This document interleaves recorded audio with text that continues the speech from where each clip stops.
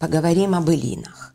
Былины – это героические песни, сказания о подвигах богатырей, народных героев, защитников своей родины, э, прославляющих свою родину, защищающих свою родину.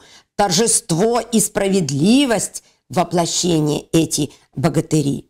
Былины слагались в старину – безымянными певцами и устно передавались из поколения в поколение. Конечно, вы знаете знаменитых богатырей Илья Муромец, Алеша Попович, Добрыня Никитич.